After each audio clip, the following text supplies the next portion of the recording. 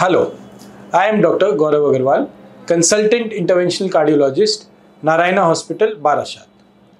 Today, let's talk about one upcoming and evolving technology in cardiology that is cardiac CT. CT scan in cardiology, cardiac CT or CT coronary angiogram. So nowadays, we have many patients who come to our OPD and say that, sir, can we get a CT scan done for this angiogram test that you are advising? So first of all, we need to know when can we do CT angiogram. Patients who have blockages, possible blockages in the coronary arteries of their heart, in those patients we advise angiogram. And in a certain group of patients, CT coronary angiogram is possible.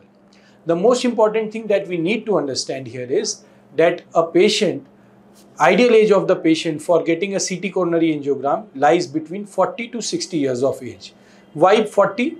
Because below 40 years of age, the possibility of having coronary artery disease or blockages in the arteries of the heart is very less likely, can be there exceptionally.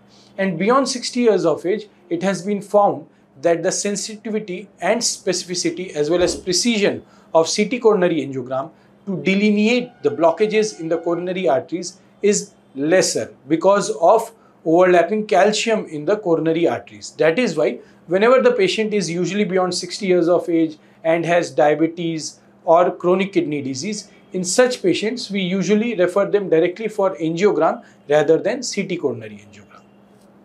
Another advantage of getting a CT coronary angiogram is that it tells you about the entire coronary calcium score.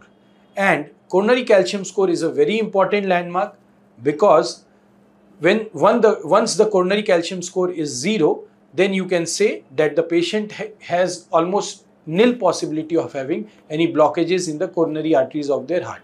And if the coronary calcium score is beyond 100, then we can say that the patient has significant blockage in the coronary arteries of their heart.